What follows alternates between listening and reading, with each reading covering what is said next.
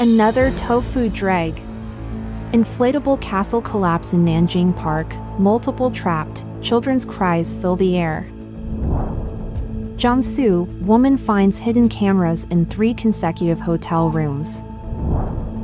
Powerful typhoon Koinu approaches China.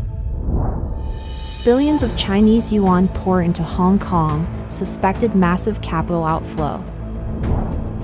Thousands of party branches can't save Evergrande. Is this a warning for Xi Jinping?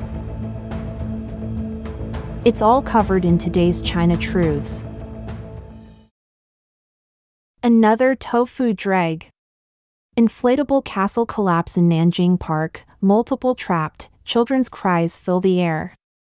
On October 5th, in Nanjing, Jiangsu, an inflatable castle in a theme park suddenly collapsed, resulting in several children being trapped underneath. Videos circulating online depict the scene in utter disorder, with the inflatable castle leaning to one side and the sounds of children crying from within. Parents at the scene were extremely anxious. A father, in a panicked state, used a key to cut open the castle's fabric to rescue his child. Fortunately, no children were injured during the entire incident, they were merely frightened. According to reports from mainland media, staff at the Mandmangda Parent Child Park mentioned that they reviewed the surveillance footage and discovered that an adult had entered, potentially leading to the collapse of the inflatable castle. Commenting on this issue, Chinese netizens expressed their disbelief, questioning whether the castle collapsed solely due to one adult entering. Can't it withstand the weight of a single adult? They also raised concerns about the potential danger for multiple children and advocated for the prohibition of inflatable castles, while also inquiring about the number of recent accidents. Jiangsu, woman finds hidden cameras in three consecutive hotel rooms. According to reports from mainland media, on October 3, a group of five women from mainland China, including Ms. Liu and her companions, went on vacation and checked into the Z Hotel on Huazhong Road, Ganyu District, Lianyungang. They're shocked to discover these things. In a video circulating online, Ms. Liu explained that when they returned to the hotel at night, one of her friends, who was in a different room, turned off the lights after taking a shower and suddenly noticed a light source inside the air conditioning vent. Upon closer inspection, they were shocked to find a hidden camera inside. Subsequently, another camera was discovered in the air conditioning vent of Ms. Liu's room. After reporting the incident to the police, the officers advised them to check out and refunded their room fees. Ms. Liu and her companions immediately packed their belongings. She also informed the guests in the neighboring room about the incident, and her friend inspected the room, which resulted in the discovery of another hidden camera in the air conditioning vent. Later, this hotel guest was also shocked and chose to report the incident to the police. On the evening of October 4th, the hotel responded, stating that they had reported the incidents to the police and law enforcement had initiated an investigation. Commenting on the incident, Lucien, a writer, cartoonist, and Weibo influencer, believes that if hidden cameras were discovered in three consecutive rooms, it's possible that every room in this hotel might have hidden cameras. This discovery has stirred the public. Hey Bulin, a Weibo influencer, expressed nervousness. I'm currently staying in a themed hotel. What should I do? I've been here for almost two months. Could everything I've done in my room have been recorded? Some netizens suggest that there should be new regulations requiring hotels to inspect every room for hidden cameras in the future. A full time lawyer in mainland China stated that this behavior is illegal and not only violates human rights but may also constitute a criminal offense. In this case, if a third party installed the hidden cameras, the management should provide evidence that they fulfilled their security obligations. In the absence of such evidence, the hotel should assume supplementary responsibility. If the hotel installed the hidden cameras, it would involve both criminal and civil liabilities. Powerful typhoon Koinu approaches China. According to reports from the Global Network, this year's 14th typhoon, Koinu, reached the category of a strong typhoon and made landfall in Taiwan on October 5. It is predicted that Koinu will move in a west-northwest direction at a speed of about 10 km per hour, approaching and possibly brushing past the eastern coastal areas of Guangdong around October 7. According to reports from Southeast Net, Typhoon Koinu is expected to have a significant impact on the southeastern sea areas of China, including Fujian, Guangdong, and Taiwan, bringing strong winds and heavy rain. As a result, many regions have issued notices regarding the temporary closure of scenic areas, suspension of ferry services, cessation of performances, and evacuation instructions. In Fuzhou City, elderly, young, and vulnerable individuals must evacuate ashore by 6 p.m. on October 3, and laborers must evacuate by 6 p.m. on October 4. At the same time, flights in the typhoon affected area have also been suspended starting from October 6. Due to the impact of Typhoon Koinu, the Shantou Municipal Education Bureau issued an urgent notice that all nurseries, kindergartens, primary and secondary schools, and extracurricular education and training institutions in the city will suspend classes starting from October 6. In response to Typhoon Koinu, the Fujian Provincial Flood Control and Typhoon Prevention Command decided to elevate the typhoon emergency response level to level 3 on October 3. The Guangdong Provincial Flood Control Headquarters raised the typhoon preparedness level from level 4 to level 3. In response, Shantou, a city in Guangdong, also upgraded the typhoon yellow warning. With the arrival of Typhoon Koinu, some mainland netizens expressed their concerns, saying, This year, the typhoons just won't stop. Billions of Chinese yuan pour into Hong Kong, suspected massive capital outflow. Statistical data reveals that in August, a substantial influx of Chinese yuan, RMB, poured into Hong Kong, resulting in the total RMB deposits in Hong Kong approaching nearly 1 trillion yuan. Conversely, Hong Kong's foreign exchange reserves, utilized to bolster the stability of the Hong Kong dollar exchange rate, dwindled by 35.8 billion Hong Kong dollars, approximately 4.57 billion US dollars, in August. An analysis pointed out that Hong Kong funds are flowing out, and the scale is substantial. Hong Kong stands as the largest offshore RMB settlement market, encompassing approximately 70% of offshore RMB settlements due to offshore RMB operating beyond the regulatory framework of the People's Bank of China and being subject to currency exchange with foreign currencies, it shapes offshore exchange rates. This, in turn, can exert varying degrees of influence on onshore RMB exchange rates.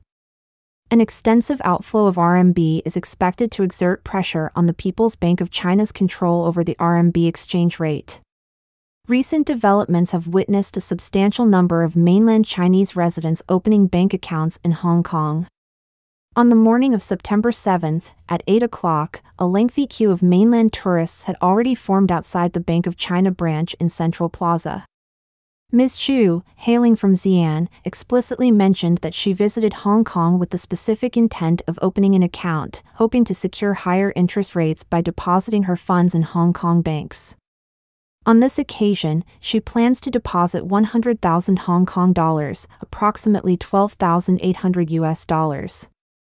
Ms. Zhu states, currently, the economic environment in mainland China is poor. We should not wait and watch domestically. We should take action, so I decided to exchange my money into other currencies. She also revealed that Chinese individuals coming to Hong Kong can carry 20,000 renminbi, approximately 2,780 US dollars, in cash per person each time across customs. People use this ant moving house method to take their RMB out of the country. Senior Hong Kong banker Wu Mingda believes that the outflow of funds from mainland Chinese residents to Hong Kong is inevitably facilitated by the involvement and selective approval of Chinese Communist Party officials, effectively granting a green light.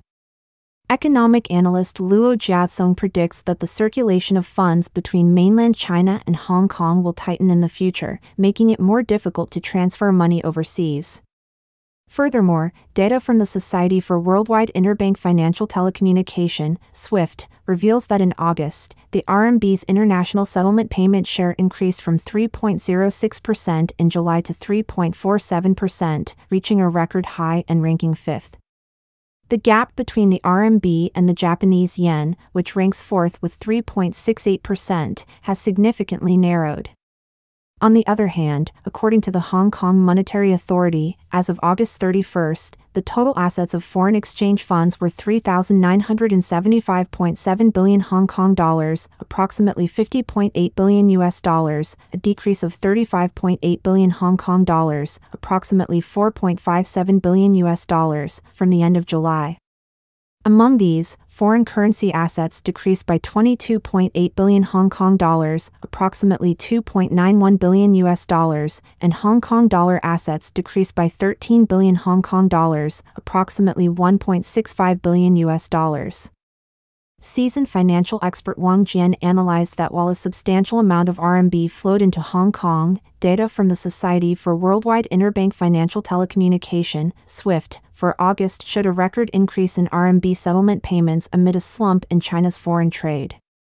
Additionally, Hong Kong's foreign exchange funds decreased, indicating that there is no doubt that Hong Kong's funds are flowing out, and the scale of the outflow is significant.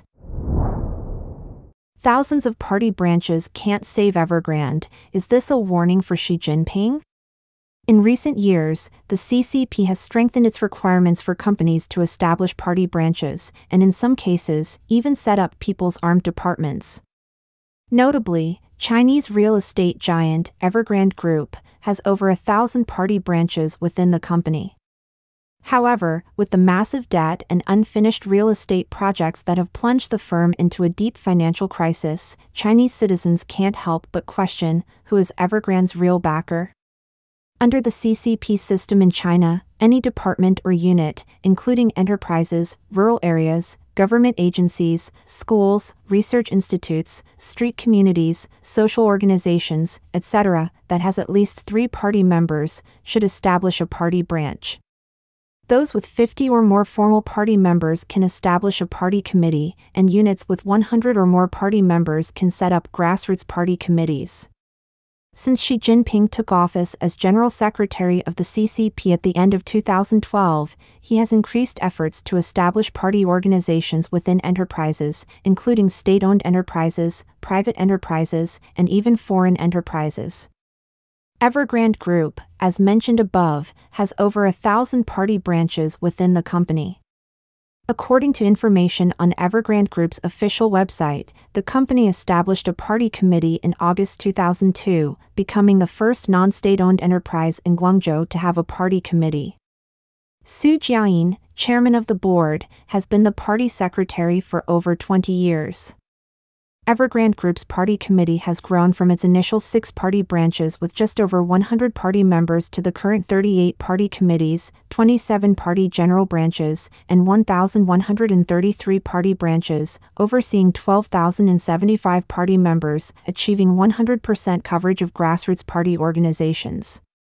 The enterprise must integrate the implementation of the party's lines, principles, and policies into production, operation, management, and business, making party building work truly effective and fruitful. Xu Jiayin even publicly stated, Everything I have and everything Evergrande has, all come from the party.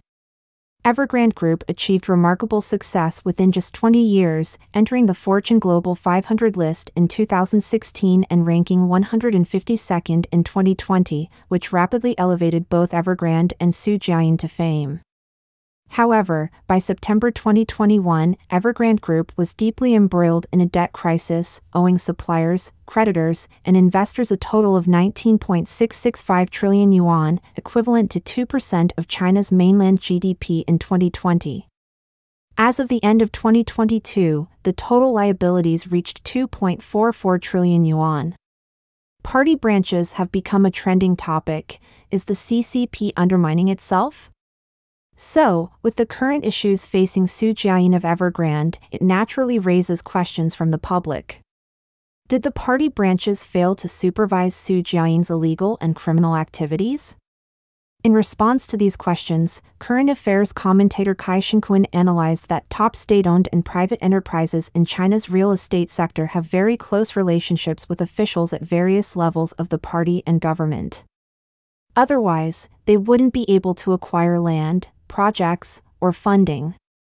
Xu Jiayin, as an ordinary citizen, clearly had backing behind him, allowing him to ride the high speed development train of reform and opening up.